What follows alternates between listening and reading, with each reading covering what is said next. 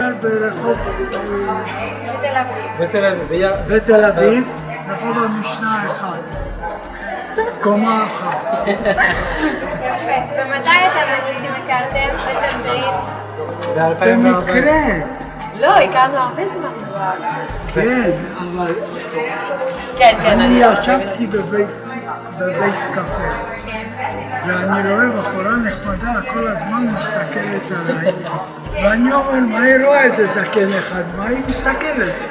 אז ניגשתי, אז היא מראה לי תמונה, את התמונה הזאת, ושואלת אותי אם זה אני. אמרתי, זה בדיוק אני, יש לי תמונה כזאת בבית. וזאת הייתה, ההיכרות ה... תגיד, למה אתה חושב שניסים בחר דווקא בתמונה הזאת? מה זה מייצג? זה משקף את מי שאתה. אני, אותך? אני אגיד לך, אני ניצול שואה, ואין כבר הרבה מה שעברו עברתי. שאחר כך אני הכרתי אותו, ולקחתי את הטלפון, אבל בתוך הטלפון שלי, וזה לבד. ועד שהוא לא צלצל, אני לא ידעתי בכלל אה, מה הוא רוצה. לא ידעתי מי הוא בכלל. ולאט לאט זה מהתמונה ועד של הבית קפה, שצילמו, ותפסתי קשר. וככה זה נמשך. אתה שמח שנמצא קבוצת תל אביב? נכון. כן? אני, קודם כל אני מאוד שמח שזה יעבור אה, לדורות הבאים. אני גם מרצה בכל מיני מקומות, כמו שהרציתי איפה שהוא, שעשה את הצילום הראשון. אה, אני רוצה שהמסר ידע מה זה שואה, מה שהייתה שואה. אני ישבתי שלוש שנים בשואה, שנה אחת במצור, בגוטה, בגונדקר, ובקרקוב פרט. אני ראיתי מה זה מוות, אני ראיתי ערימות, הרים של מתים, שלא היה להם זמן, שהקרמטוריום לא עבד מספיק זמן בשביל לשרוף אותם. אני שיקרתי, אני עשיתי את כל הדברים הרעים שקיימים בעולם.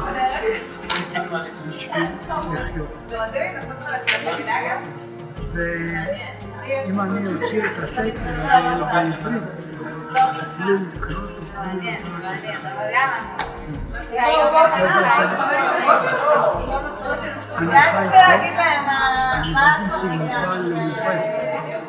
עם שני הבנים שלי, בלי מילימות, בלי מקצוע, בלי בית ספר, בלי כלום. באתי לארץ בשנת 47' ובניתי מפעל לחלקי חינוך למנועים למטוסים. היה לי 18 אנשים. היה מפעל למופת. ובגיל 85 אמרתי מספיק. כמה זה היום? הרע. 89. 79, נו, לא עוד הרבה שנים טובות.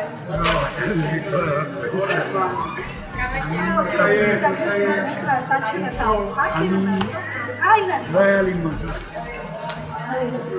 אנחנו חמישה חברים, שכל שבת אנחנו נפגשים. היינו יותר צעירים, אז היינו נפגשים גם עם אנשים של כל אחד. אבל כל האנשים של החמישייה נפטרו. גם אשתי נפטרה מאוד צעירה אחד. רגע, מה אני עושה בסוף אבל? יש לי עוד אחד, יש לי עוד נכדים ממנו, אבל הראשון נפטר. ואנחנו נפגשים כל יום במסעדה.